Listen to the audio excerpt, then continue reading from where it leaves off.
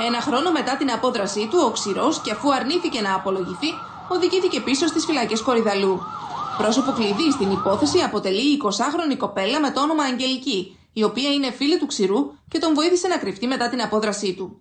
Η συνεργός του τρομοκράτη είχε χρησιμοποιήσει την πλαστή ταυτότητα που βρέθηκε στη γιάφκα της Αναβίσου, με τα στοιχεία μιας 23χρονη κοπέλας από το Αλιβέρι.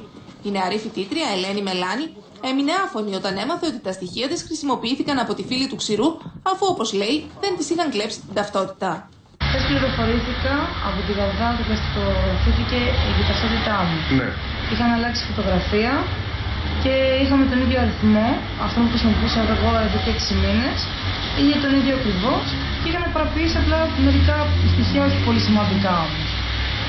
ναι. Α. Και εσύ πώς σε, ενημε- σε πήρα τηλέφωνο από τη Γαδά, έτσι. Με πήραν πή- γύρω στις 3 ώρες πριν κάνω την ανακοίνωση. Σε ενημέρωσαν πού χρησιμοποιήθηκε αυτή η πλαστογραφημένη Όχι, ταυτότητα; όχι, όχι. Δεν έχει ενημερωθεί ακόμα τι Όχι, έχει δεν γίνει; είχα Ε, αυτή η ταυτότητα ήταν η παλιά, γιατί την είχε χάσει την ταυτότητά σου. Είχα χάσει, μου είχαν κλέψει την τσέντα τον Μάρτιο Ναι. και πήγα τον Απρίλιο και έβγαλα καινούργια. Την καινούργια μου πλαστογραφήσαν. Πού την είχες χρησιμοποιήσει την καινούργια ταυτότητα, Την είχα δώσει σε τράπεζα, σε εφορία. Ε, Σε δημόσιες υπηρεσίες. Ναι, ναι, σε, σε αυτά. Δεν άλλο.